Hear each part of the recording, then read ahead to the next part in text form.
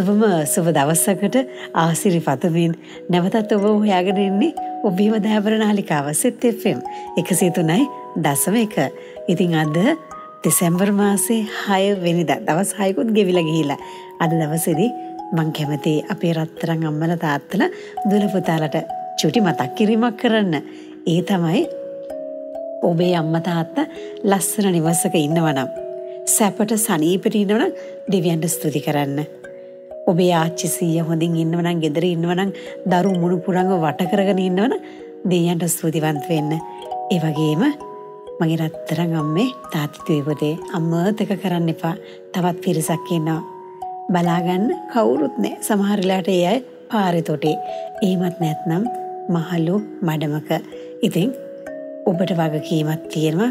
පුතේ දුවේ ඒ අම්මව බලන්න යන්න අඩුම ගානේ දවස ගානේ කතා කරන්න ඒ අයට අවශ්‍ය කරන උදව් උපකාර කරන්න මුදල් හදල් වෙන්න පුළුවන් එහෙමත් නැත්තම් අවශ්‍ය බෙහෙත් හේතු වෙන්න පුළුවන් මේ හැම ආකාරයකින්ම අම්මා මහලු මඩමේ හිටියත් තාත්තා මහලු මඩමේ හිටියත් ඒක නව තනි කරන්න එපා. ඉතින් ඇත්තටම මේ මහලු මඩම් සංකල්පේ නර්සිං හෝම් සංකල්පය වෙලා තියෙන පිටරටවල් වලින් අපේ රටේ ඉස්සර අම්මලා තාත්තලව මඩම් වලට ගිහිලා දැම්මේ නැහැ. ඒ අයව තියාගත්තේ දරුවන් එක්ක. මොකද දරුවන්ගේ දරුවන්ට එක්ක ඉන්නකොට ආච්චිලා සීලට ලොං ලයිෆ් ඒ අයට ඒ අයගේ සතුට සිනහා ඒ ඇහෙනකොට කරනකොට ළමයින්ගේ අවශ්‍යතාවයන්ට ඒ අය යොමු වෙනකොට ඒ අයට ලස්සන ජීවිතයක් තියෙනවා.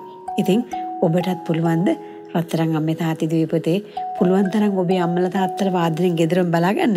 බැරි වුණා නම් කොහේ හරි ඉන්නවනම් කාත් කවුරුත් නැතිය ඔබේ නොවේ අනිත් අයගේ අම්මල තාත්තවල බැහැ දකින්න යන්නට එයට උදව්වක් උපකාරයක් කරන්න අමතක කරන්න එපා. රැඳින්න අපිත් එක්ක ආයිබෝවන් සෙත්.